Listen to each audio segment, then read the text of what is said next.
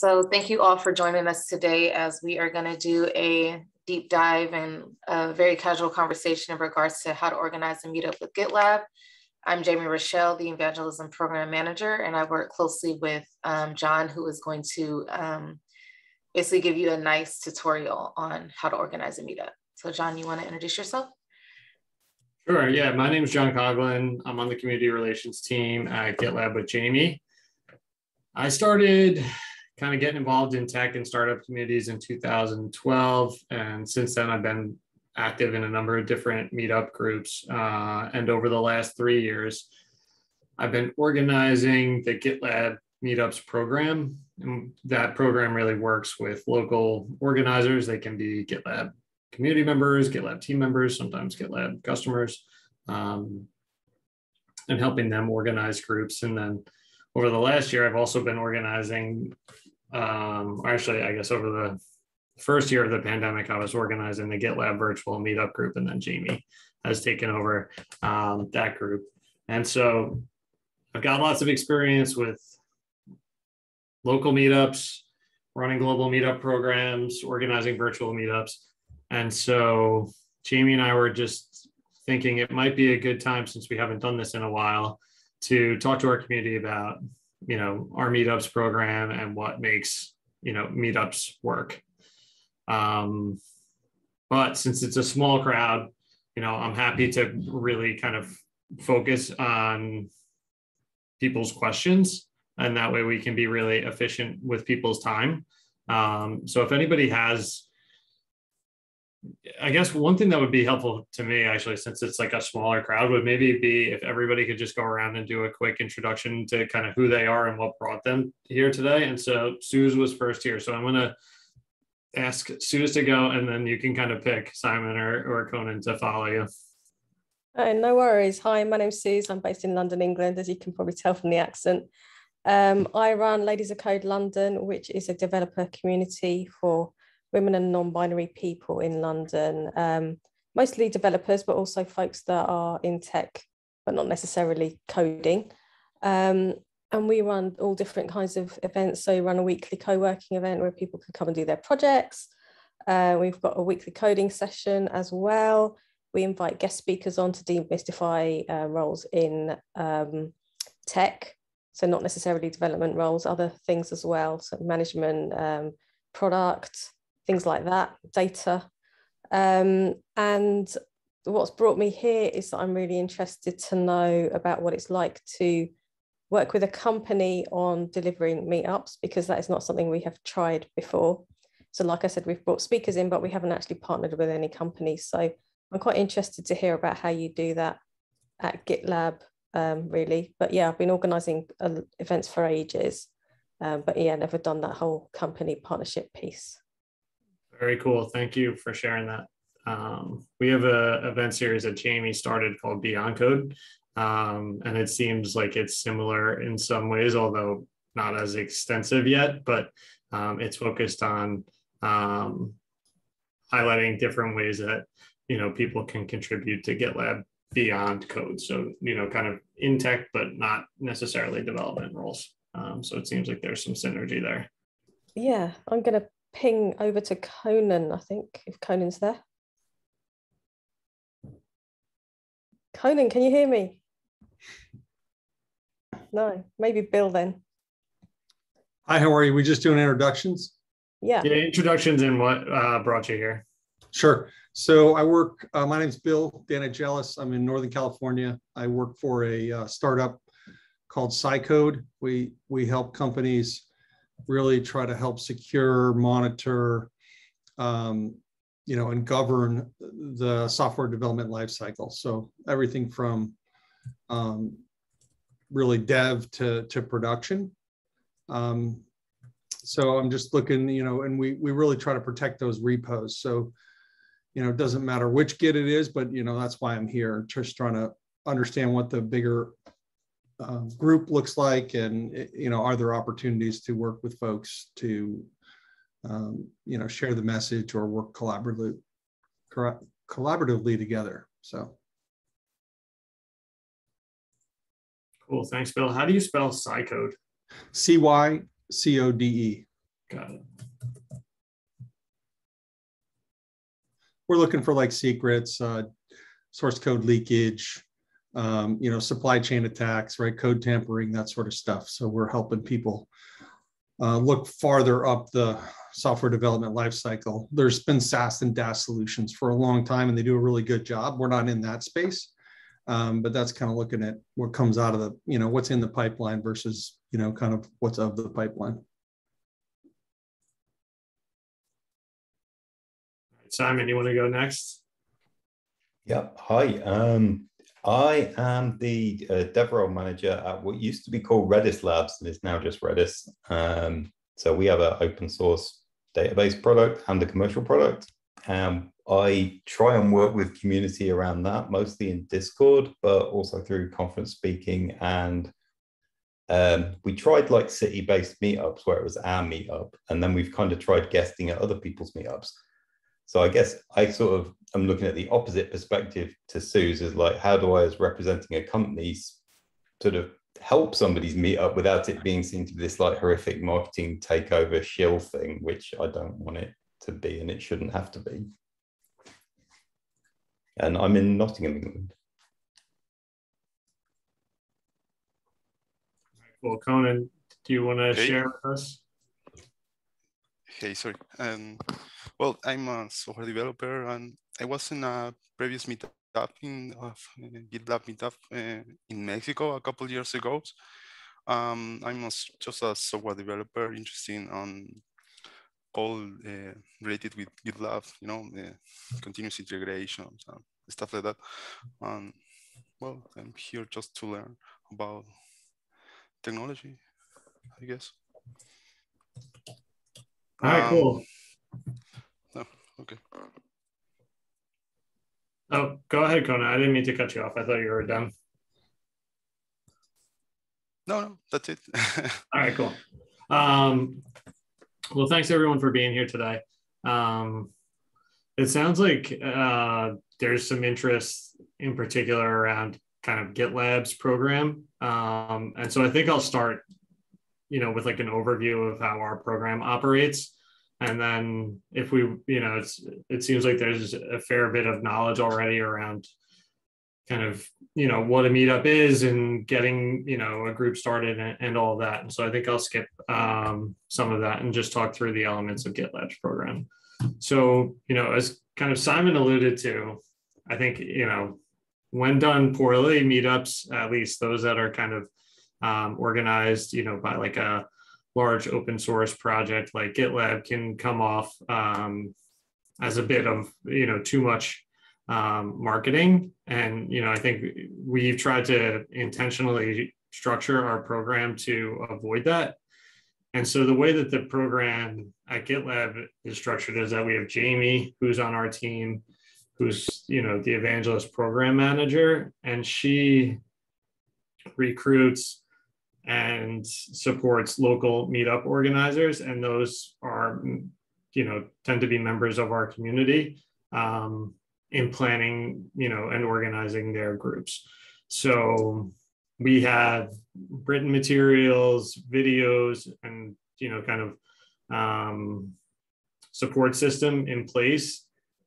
We share that with the local organizer and then Jamie will work collaboratively with them as they go through the you know group creation and then subsequently the event creation process. We provide financial support for the groups, so we'll cover the cost of the meetup.com um, subscription. And we'll also provide financial support when in-person events are possible to cover the cost of food and drink and send swag. Um, and then we'll work with organizers to connect people with speakers and hosts, but we're not prescriptive in the types of content um, that the groups cover. So we think of things like as you know, kind of DevOps broadly are really like the topics that we're able to cover, but we, you know, don't require the material to be about GitLab itself. Um, in fact, one of our more active groups lately has been, I think it's called DevOps and Chill or something like that. Um, and we've been, you know, active in supporting that group and organizing events throughout the summer. Um, and, you know, in general, they're just folks that are you know interested in DevOps that get together and talk about kind of latest trends. Um, but you know, there's no formal presentation about GitLab, but they're not they haven't been giving out GitLab swag because it's been virtual. Um, and so it's really, we're just kind of there to help support and encourage um, the organizers of that group to build up their DevOps community. So, you know, I think that structure has worked well for us.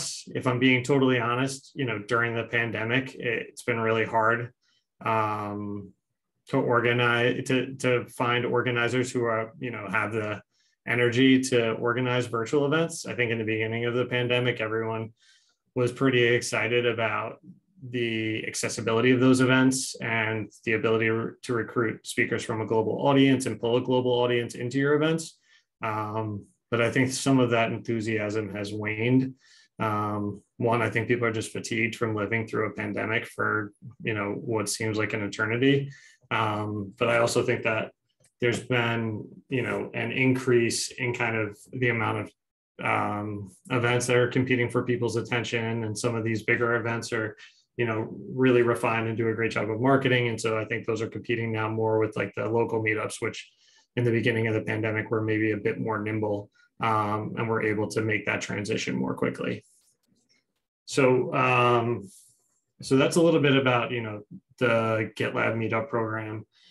You know from the organizer side we also have support systems in place for speakers. So if people want to be a speaker um, at a meetup we have a team of developer, you know, evangelists like Simon's team that's developer relations, but just a slightly different title. And uh, our team will work with those speakers to help ensure that the technical details of their talks are accurate. If they're, you know, referring to GitLab or topics that we're familiar with, um, we'll work to help, you know, improve the kind of slide design based on our team's experience, um, you know, presenting at conferences and things. Uh, and we'll also help them work on the delivery of their talks. And the idea is to, you know, just kind of get those people prepared so that um, they're able to make a great impression on the communities that they're presenting to. Um, we also have things like GitLab slide templates um, and even some, you know, kind of prepared decks and demos for some of our, you know, like more um, intro level type talks. Um, but again, you know, they're really not um, marketing oriented. They tend to be more um, oriented towards helping people up level their skills. So if someone you know is a new developer and doesn't know what continuous integration is, um, we have like a talk and a demo that will help people build you know their first pipeline in about 40 minutes uh, and leave you know understanding the basics of that um, concept and with like an actual you know working pipeline in a repo uh, uh attached to their GitLab account. Um, you know, we also do, you know, like kind of pairing of hosts and um, meetup groups when that, that's um, possible. Uh, that hasn't been possible for a long time. Um, you know, and for members, we have a global network of meetups and everybody can go on meetuppro.com slash GitLab or about.gitlab.com slash events and find all the local meetups that we're supporting. Um, we're always happy to help people start a new group in their area if they don't see something locally. So that's kind of the high level view of our program. You know, I think um, for Suze like, you know, and, and for folks that join late, um, Suze works with a group called, I hope I get this correct, Ladies Who Code um, in London. And so um, I just wanted to kind of, you know, talk a little bit around you know, like what our past relationships have been like with similar groups. And so we have had a close relationship in the past with an organization named Rails Girls. That's a global organization um, that's focused on um, Rails, which is a, a, language that we use uh, to build GitLab. And so there's been a good kind of relationship between, uh, you know, the GitLab team and, and that organization. And we frequently you know, make donations or provide other support to them. Um, but we're, you know, I think uh, as a company, we're looking to make a bigger push around our corporate social responsibility and how we engage with organizations um, that are doing great things, you know, especially around um, teaching, you know, software development skills. So I'd, you know, love to hear around about what kind of your group's needs are, Suze, um, and see if there's a fit there. Yeah, I don't have any immediate needs that I can think of, but I'm quite interested to know like how would we join the program? Do we do we have to join to to engage with it? You know, what sort of commitment is there on both sides? And um, how do you decide like who you want to join? Because presumably you wouldn't take everybody who comes along, right? Because you don't have unlimited amounts of money and stuff. Yeah, yeah. I think you know what we look for is alignment around topic, and I think you know, may, Jamie, maybe it's a good time for us to review uh, you know some of this and make sure that it's up to date. But I think alignment around topic is important. So typically we tend to accept like DevOps related groups. Um, so that's kind of one of the criteria. We also look for groups that are led by uh, organizers that align with GitLab's values. So we have a set of values, the credit values, it stands for collaboration, results, efficiency, diversity, inclusion, and belonging, iteration, and transparency.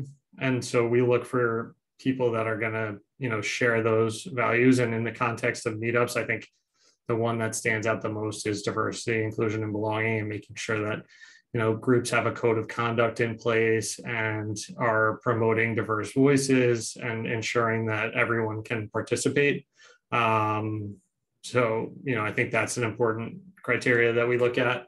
Um, and then yeah from like a logistical perspective you know the process would be like you know go to our meetups page on our site and there's an application button. Um, basically it's a start a meetup group that'll take you to a GitLab project where you can open an issue and you'll fill out the details for your group. And then Jamie will do a review. And if there's any question, you know, probably escalate that. And then from there, you know, we'll provide a, a key. It's a basically a unique URL to add your group to our meetup.com pro network. Um, you know, we ask that organizers um, host at least four meetups per year in order to maintain their membership in that group. Although we've gotten a bit lax on that because we know that you know people are really facing some tough times right now. Um, and then you know we'll do a regular review to make sure that people are following the code of conduct and things like that. I have a question. Um, It looks like I got to you guys because I signed up for the um, Bay Area GitLab meetup group. So you guys maybe heard about um, me that way. But uh, um, are, are you guys looking for more groups um, or?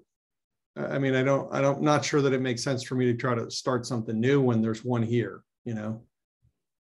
Exactly. Yeah. So I think we're not looking for more groups per se. What we're looking for is more active groups. And so if your geography, um, if there's an existing group in your area, and that could be an existing GitLab group or an exist, existing DevOps group um, that's gone, you know, become inactive for whatever reason. Um, if it's a GitLab group that's part of our network, we'd love to help you, you know, take a leadership role in that group um, and become an organizer.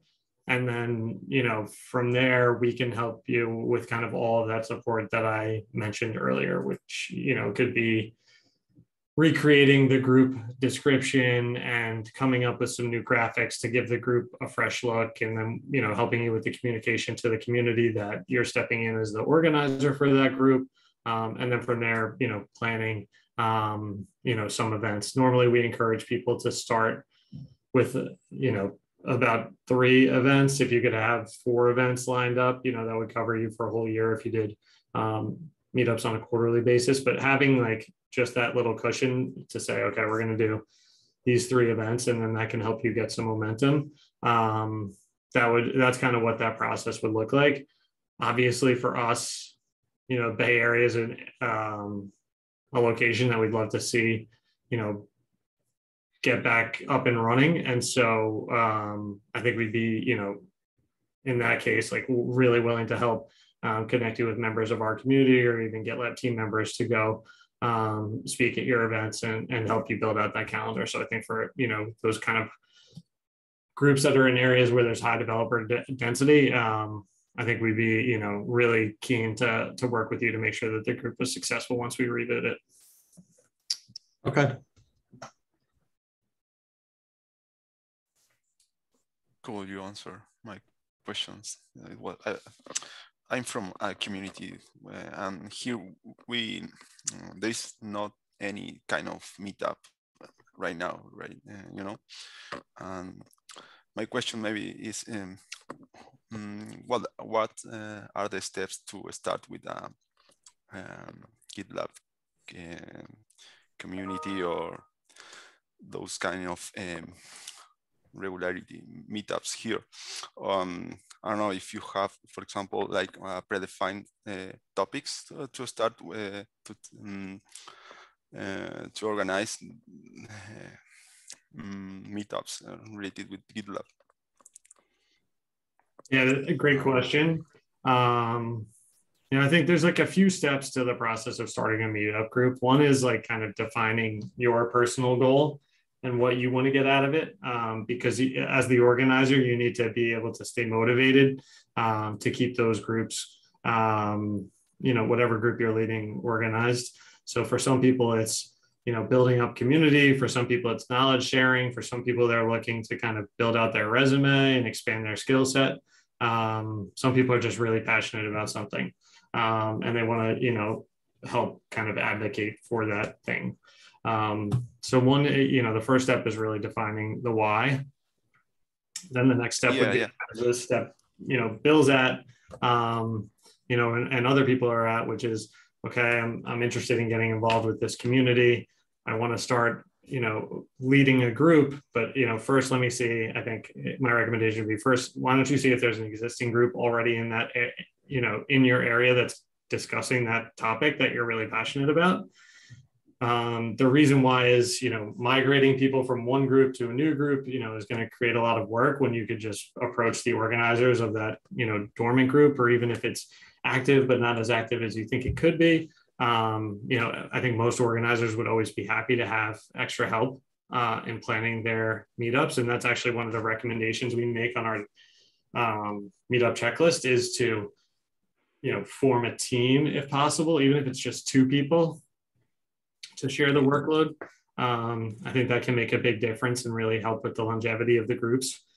Um, yeah, and then you know if there is no group in your area that's discussing DevOps or GitLab, and you think that it's you know a new group is the right decision, um, then you'll start the new group, and then from there it's about kind of you know creating a really great description page with a cool like kind of header image that catches people's attention. You want to show people that your group is um, something you've invested your time in if they're if you're asking them to invest their time.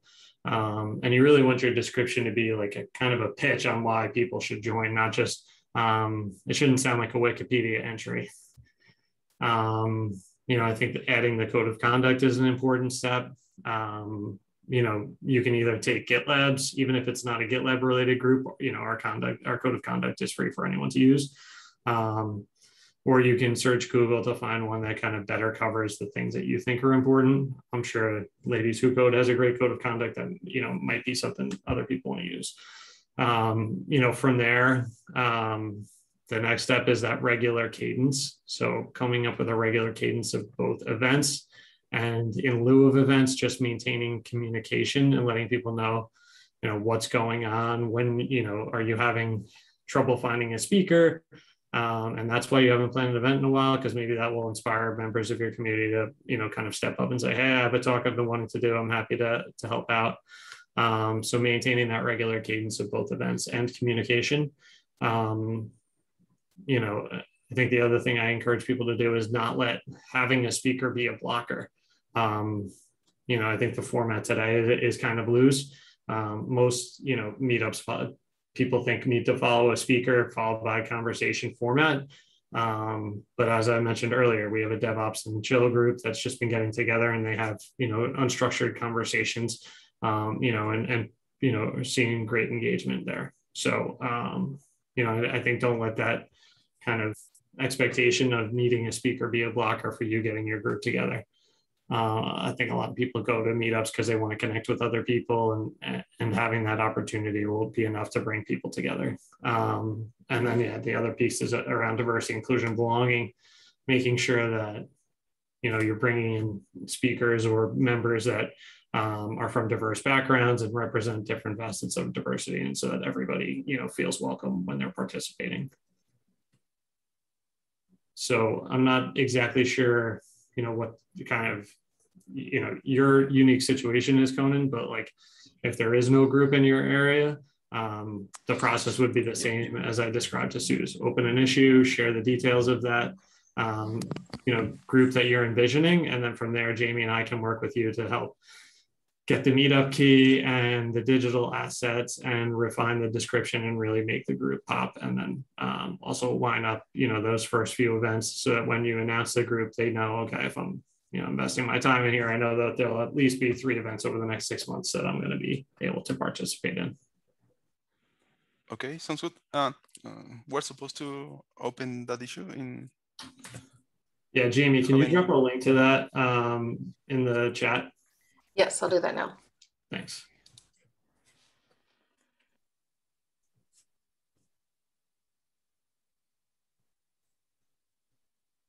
So, um, Pavel, did you have anything you wanted to add? Uh, no, thank you. Uh, well, I actually have a meetup group with you guys already. Oh, that's right. Uh, it's just that I've never. About. Oh, where are you? Oh yeah, okay. So that's a coding and chill. Coding and chill. Sorry. But, uh, yeah, no problem. Uh, so that's uh, it's not. To be honest, it's not DevOps really oriented. It's just coding. People from different sort of coding backgrounds. Uh, and on the last one we had, we did, we've done. It was like an escape room, but to kind of escape, you had to write some code. And uh, that was really fun. And we did it in the park we sat on the benches. Um, so yeah, I don't have really anything to add. it's just that uh, yeah, it's fun, and it. Uh, I guess you need more. You, you get better at it by time. I'm still not very good at organizing those things, but uh, yeah. So, just out of curiosity, do you feel like how do you feel like GitLab could better support your group um, is there anything that you wish that we were doing that we're not doing right now?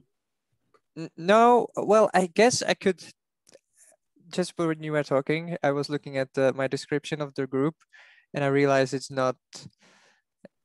It's it's like not maybe talking to like different people from different walks of life.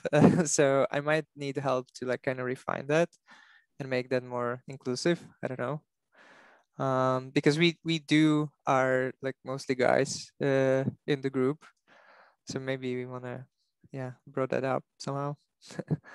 awesome, yeah, we'd love to help with that. So let us know. I know you we're in touch on issues quite regularly, so we can bring that up on another issue. Yep, cool, cool.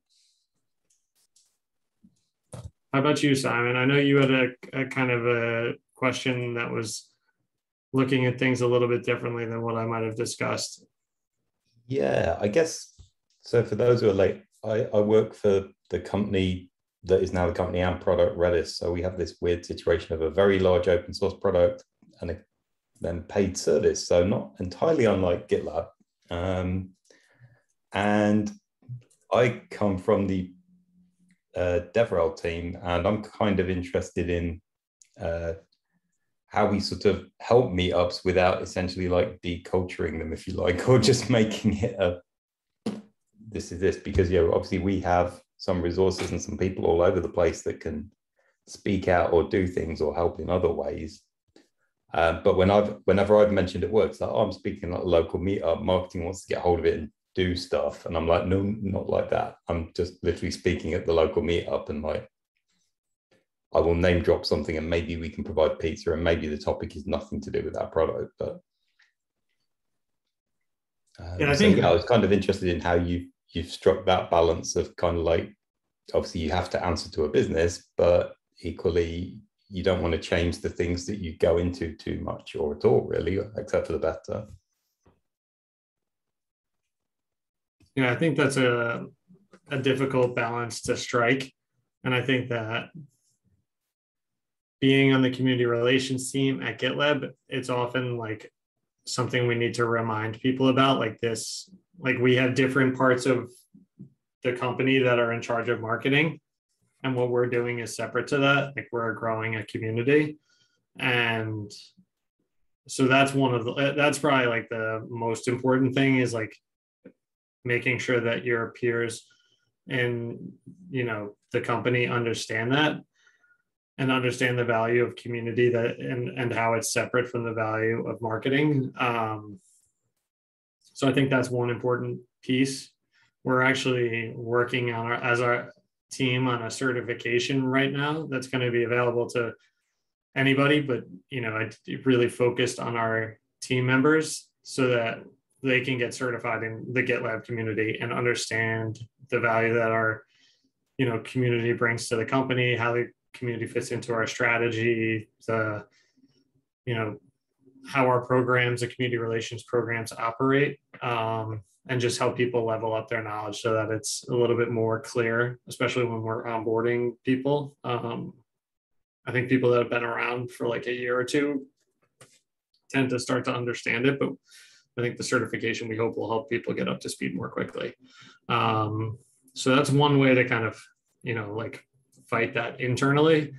I think you know another way to look at it would be like how can you give value to the communities that you're part of. So, um, you know, as like the DevRel people for Redis, you know, you can come up with you know some really great like introductory talks that are going to bring value to a lot of people. I think for us at GitLab, that tends to be focused on like Git and Git workflows um, and CI. And so we'll focus a lot of our community focused talks on those topics. If we're going to a conference or doing a webinar or something like that, you know, we'll tend to get a little bit deeper. But when we're with community groups, we tend to focus on those higher level talks around like what is a Git workflow and you know what is a branch and a commit and how does all of that work. Um, and then similar with CI, um, you know, we'll have those kind of introductory talks. And we, you know, by bringing those out and, and doing them at, you know, AWS user groups or other kind of local DevOps groups, uh, we're able to help, you know, a lot of people level up their knowledge. The other way that we kind of use meetups that I really think is great is like promoting community speakers. Um, and so, you know, we have our internal kind of evangelist team, and they do things like write blog posts, go do conference talks, come up with these introductory talks and, and do them at meetups, um, speak to media. Um, but then we also have Jamie and our evangelist program that's really focused on creating a platform for people in our community to go out and be evangelists themselves and raise their own profile and do talks and things. Um, and I think that that creating that space where you know it's not just your team talking to the community all the time but you're creating opportunities for the community to talk to each other. Um, i think that really brings a tremendous amount of value and people then get excited because they see okay i could go and do a talk at a gitlab meetup so now i'm going to get you know level up my skills so that i can reach out to jamie and say hey i have this talk i've been wanting to do at a, at a virtual meetup. Can you know can we work on that together yeah, I think we've sort of tried some of these things as well, and we're in the early days. So we started like a Twitch thing periodically where the aim is it's our platform, but we don't really speak at it. So we pull people from the Discord community or something. Um, and then we've also, like you said, tried doing more generic stuff. So for us, it will be talking about like what is big O note, big O notation, which is a you know, general interview question or data modeling in NoSQL or something. And try and keep the product out of a little out of it a little bit. And what kind of results have you seen from that? Um, mix. I think it's it's kind of early days, and we have this community of there's the open source people and there's people that pay us, and then you can get our product from a bunch of other cloud providers, you know, in all sorts of different. So even like getting those people to realize that all of these things are the same underlying thing, like I guess you do with the Git protocol and the Git process um, is a thing that we sort of need to do to build a wider community, I think. But um, the other way we've been doing it is we have like training courses for the product and we invite people into Discord for that and they stick around. We used to have like products per, sorry, forums per course run. And then at the end of your six week run, it would get flushed and the next run would happen. And that obviously doesn't build community. Whereas an ongoing Discord, people come back and kind of help each other out. And then we notice those people and like, do you want to come speak at things? So early days, but it seems to be working. and Suze and, and Pavel, like what kind of things, you know, Pavel, you already kind of answered this question, but maybe Suze, like what kind of things would you like to see from groups like, you know, organizations like GitLab and Redis? Like what kind of, you know, value can we bring to your community? Um, I think definitely anything that can help you level up in your career. So whether it's about becoming more senior or just you know, doing that whole T-shaped thing. So becoming more broad or a bit deeper. So like Simon said, all of that good stuff, um, things that you might come across in your interviews is always good. Um, insight into other roles that you might want to go into.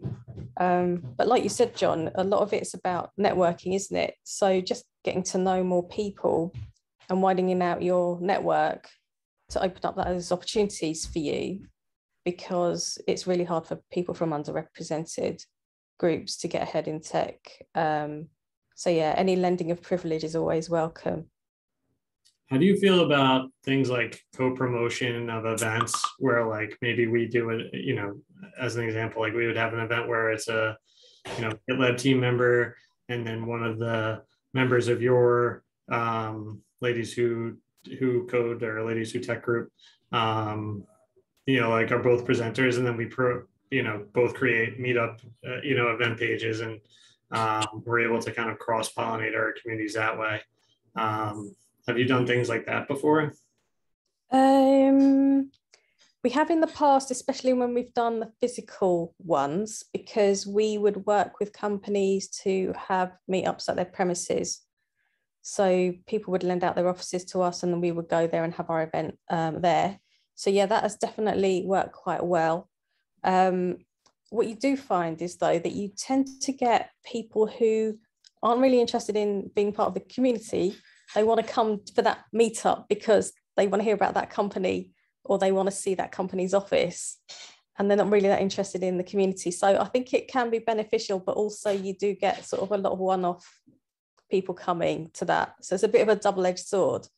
But um, I think on balance definitely helps to have that kind of co-branding yeah um, and i think you need to balance that as well because if you want to work with other companies like how does that work? Um, you know if i'm not a sort of a gitlab gitlab meetup and i might want to work with other companies i kind of need to be quite careful that i'm not upsetting any of my uh, my good friends in tech there at all the all the companies that want to help out. So um, what are some of the things that you do with your like community that promote kind of re-engagement keep people coming back. So we especially in um, covid we've done a lot of series. So like i said the um, the tech roles series that's kind of had a lot of um, people coming back and you're seeing a lot of uh, regular viewers which was really nice. Um, and the co-working series attracted a lot of people who were in the same boat. So that was for people who were just really struggling through all the various lockdowns that we had and all the isolation. And they just wanted to get stuff done, but they, uh, although they had a lot of time, the mental health was suffering, and there were a lot of people like that. So that's formed a really kind of tight knit group that is really trusts each other, and they know to come back at the same time every week, and you know they're going to see some friendly faces and they can share openly you know they can be vulnerable and stuff like that um, I think it's quite hard, especially in tech, because everybody's got different needs. So you want to offer variety, and therefore you're not always going to get the same people coming back. And it is really hard to know what to offer people because when you ask them, they don't necessarily tell you what they want. Um, but yeah, definitely the series has worked for me especially over the past year, a bit of consistency, um, especially with the uh, the Sunday the co-working sessions has been good. Awesome. Thanks for sharing. No worries. Pavel, anything that you find um, that works in, as far as keeping people the same group, you know, kind of core people engaged? Well, we mm, we started a little bit of like instant messaging group. We use Slack, and then we kind of chat there, which kind of works in between like the meetups, so that people keep talking a bit. um, but I, I was actually interested in more details. If I'm pronouncing it correctly? Like if you could mention more about what, what you did on those series, uh, because that's kind of good inspiration. I think if I could like copy some sort of thing you've done. Which what, what kind of um, things that you want to know? But you about? you mentioned some co-working uh, that you've done, and also the series about roles. Uh, so if you could just like high level cover what you've talked about or done. Yeah, what I'll do is I'll get my uh, my good friend Simon to drop some links in the chat while I'm talking. That's all right. Can you go on my blog, Simon, and pick off those two? Sorry, I'm going to talk and he's going to go. Otherwise, I'm just going to get distracted. So, um, cool. So for the co-working, there was a lot of messaging at the time of, oh, you've got so much time because you don't have to get on the train and commute and stuff like that. But I knew for a fact there were a lot of people, and it affected women a lot. I mean, it affected men and women and um, all kinds of people. But uh, a lot of women are caregivers and stuff like that. And a lot of women bear the, the childcare. So for them, it wasn't true that they had a lot more time. In fact, they had less time because the children are at home and they're having to homeschool and do all their stuff at the same time. So I identified a need for some sort of supportive group for people to get stuff done. And what I did was I combined um, synchronous and asynchronous comms during this session. Started off as four hours a week, and then we reduced it to three hours a week. And then, like we've done a bit of experimentation, um, and now it's three and a half hours. But the first half an hour is social chat because we've all got to know each other mm. A bit more. So what we do is we check in at the beginning and we're all on Zoom and then anyone who wants to share what they're working on can um, share and it doesn't have to be technical. So we've got everybody from like they're um, trying to brush up their skills or they're preparing for an interview or they need to do some cleaning or just anything they want to get done and there's no judgment. And then we go off and work for about an hour. Um, and then we during that time um, we chat on Slack if we want to um, and share stuff on there. And then we check in about halfway through and then people can do demos. So one good example of somebody who wanted to make an app for about five years. She wanted to make an app where you could log like you'd drunk water or you'd gone for a walk like it was called good behavior. Mm-hmm. you wanted to reward mm-hmm. yourself for doing this stuff and she hadn't done this app. And then she started coming in january every week and she's got a trello board for everything and you can see very clearly the progress she's made since January. Nice. I think she's only missed about three or four sessions so it's really helped her to kind of have that right I'm going to do this on Sunday mm-hmm. Um, mm-hmm. thing so we do that and then uh, go off for another hour and then at the end we check in again and all the sharing is completely voluntary so you can come and just watch or you can you can speak up so nobody's forced to speak Mm-hmm. Um, but people are very comfortable now because it's just so like friendly and it's the same faces all the time. So yeah, Simon, mm-hmm. thank you for um, for checking that out. Uh, sorry for um, I'm getting confused now for posting my links in the uh, in the chat there. So check out that blog. It's outlined the whole methodology. But I also did a couple of conference talks um, that kind of describes it as well. If that if you prefer to watch a video. Um, and for the roles, what I did there was I knew that there's kind of a lot of gatekeeping in tech, I think. And people think that if you're not a developer, then you're not really in tech. But there's a lot of roles in tech that are still very techy, but not necessarily coding. And then there are other roles in tech that are not really techy, but they're still in tech. So um, we wanted to kind of show people what they could do in tech um, if they are coders or if they're not coders or if they don't want to do coding anymore and stuff like they want to change but also how to get into those roles. So we called it get into. Mm-hmm. so all my series started with get. I don't know why. I think it started with get into and then it was like the co-working was get on with it because i just said it jokingly one day and it kind of stuck. But it was yeah get into. So started off with get into web development then we had get into engineering management get into product management get into the app store so somebody had done a side gig of um, he does a lot of games. He makes a lot of little games. So one of his latest games was the game you can only play once. So you have to play it really well to get on the leaderboard and then you never have another chance again. So that was a really good one. So those ones are all on youtube as well. So um, if you go to suze.dev mm-hmm. slash YouTube, you can check those out. Um, so yeah, it was all about just sort of the most common things that people kind of say, I'd really love to get into, but I don't know how. So we just picked off eight of them for the first series. Um, we had data engineering, data analysis. And then this series, we've had product design, um, so, something to do with data. We want to get a technical writer on as well. So yeah, it was just all those kind of roles that people might not necessarily know about. So you probably could find some that are related to um, DevOps for sure. There are mm-hmm. probably loads you could do around DevOps, but um, I think Simon's dropped the link to get into as well, or maybe not.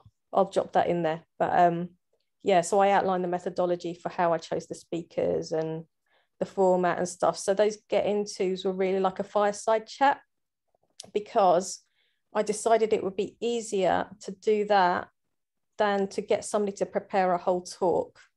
Mm-hmm. It was mm-hmm. just it was just easier to get the speakers on board. If I say to them, look, you don't have to prepare anything, just turn up when I tell you to turn up and we'll just sit and have a chat. It was a lot easier. So um, that worked quite well and then um, so I very much kind of um, shaped how I wanted it to be. So I made sure I curated the questions, and it's mostly questions from me. Um, and then we do ask the audience to submit questions as well.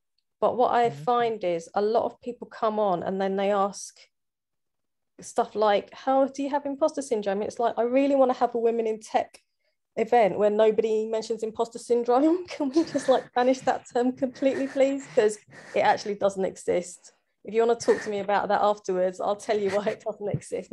But um, yeah a lot of people say do you have imposter syndrome? Which okay is valid but i don't want to be asking every single interviewee about that. I, I want to hear about your role and i don't really want to hear about what it's like to be a woman in tech either. I just want to hear about what it's like to be a data scientist. So uh, let's kind of stop talking about this whole kind of woman thing and this imposter thing. So um, that's the way I personally do it. And yeah, um, Simon has very kindly dropped the links. Thanks for being my PA there, Simon. But yeah, happy to chat to you about that some more if you want or anything else you want to hear about. Perfect. Thank you so much for all the resources and stuff. No worries. Yeah, thank you both for sharing and great question.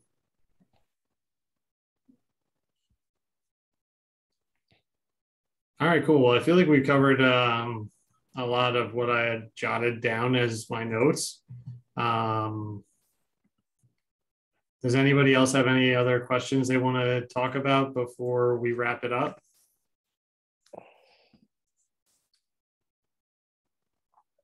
There are, I just wanted to make a suggestion. There are a lot of resources online. I know you said you help speakers out, but there's a lot of resources online for folks that want to get into speaking as well. Um, so I've been heavily involved in Global Diversity CFP Day. I don't know if any of you have heard of it, but the aim of it is to get underrepresented people um, speaking at, on conference stages because we don't have enough of them. It's, it's all very samey. Um, so if you go on YouTube and look up Global Diversity CFP Day, you'll find a load of resources about how to put, or how to decide what to talk about how to put together your bio, how to put together your abstract, and uh, and all of that. And I did run a mini one of those for um, Ladies of Code as well. And uh, we had four people that came through the whole se- the four week series. And yeah, you can find the videos of those talks on the YouTube channel that Simon um, dropped there. But yeah, there's there's loads of um, resources for people who aren't sure if they can do it because I think there are loads of people who know stuff who would be great speakers at your meetup, but they just don't have the confidence.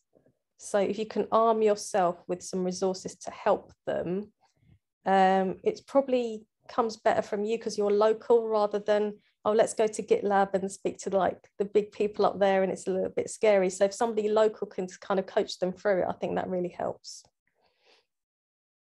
Right, cool. Thanks for that recommendation.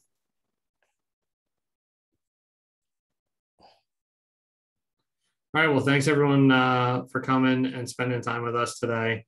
Um, thank you all for your contributions. I love these types of things that are more conversational and less kind of traditional presentation and then Q&A. So um, appreciate everybody's, you know, willingness to engage and share their own experiences. I feel like I learned a lot today um, and I'm leaving feeling inspired and that's a great feeling. Um, so yeah, thank you all. And um, yeah, let's keep in touch. And if anybody wants to, um, you know, learn more about starting a GitLab meetup, visit our about.gitlab.com slash community page and you'll find a link to the meetups page there. Um, and Jamie um, dropped her email address in the Zoom chat. So you can find that there too, if you want to reach out. Cool. Oh, Thanks for thank hosting. Thanks again for joining as well. Bye. Thank you very Thanks, much. Bye. Bye-bye.